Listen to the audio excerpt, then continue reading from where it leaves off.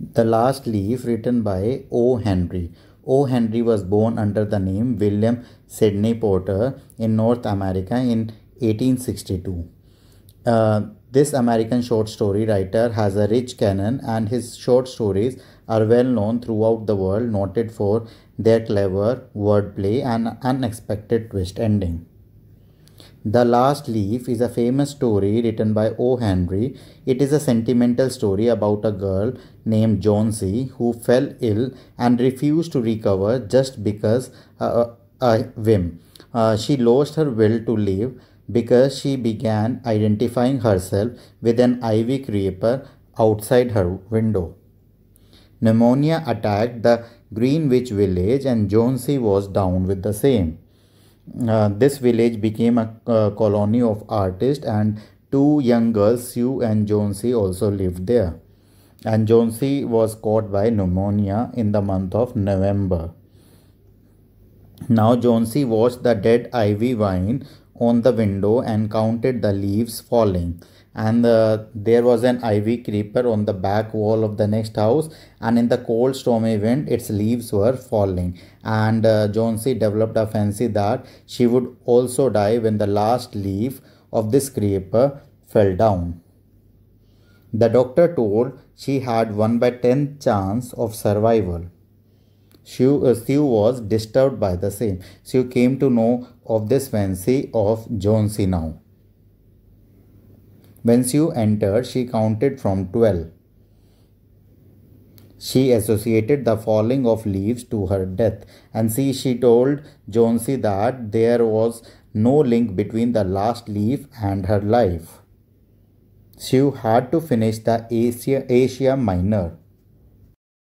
Behrman, a failure in art, survived by posing as the model. He posed for the miner. After Jonesy had fallen asleep, Sue went downstairs to meet Behrman. Behrman was an old painter. He was past 60 but was a failure in art. He was always talking about the masterpiece which he was going to paint. Behrman listened to Sue. He went out in rain with lantern, ladder and paint and painted the masterpiece. That night it was raining and snowing heavily. Old Behrman took the ladder and few colors and went out and uh, he found that all the leaves of the creeper had fallen.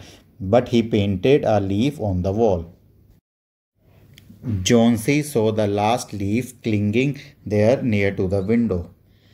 Behrman died of pneumonia. Sue understood who saved her friend. See, Jonesy uh, was restoring her will to live. Next morning, when Jonesy got up, she looked out of the window and she was surprised to find that the last leaf was still there. She knew that the fierce wind had blown during the night. Still, the leaf was there. She realized that it was a sin to wish to die and uh, her will to live returned. She started recovering. The next day, the doctor said that she was out of danger. And that afternoon, they came to know that old Behrman had died. Sue told Jonesy that he had painted the leaf on the wall uh, when the last leaf fell. He had gone out in the snow and rain in order to paint the leaf. He had caught the pneumonia and died.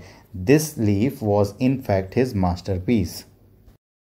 So the last leaf uh, is a psychological story and the whole story is based on the last leaf. And the mind what i mean to say is the mind is highly sensitive and imaginative of the teenager. If any fancy takes place in their mind it becomes very difficult to get them out of that. So the feeling of depression jonesy had is very common among teenagers. And uh, here, the whole story is based on the last leaf where Jonesy was a young artist girl. She and her friend Sue lived together and uh, Jonesy caught uh, pneumonia and Jonesy could see the last uh, leaf uh, hanging on the uh, creeper and moreover she thought that uh, she would die when the last leaf of the creeper fell but uh, the will uh, etc became worsened uh, but old painter Behrman uh, came to know about the same fancy and he painted the leaf of the wall and it looked like a real a leaf and the leaf plays an important role in the story. So the leaf saved the life of jonesy and so the title is completely based on the same. I hope the story is clear to everyone. Thank you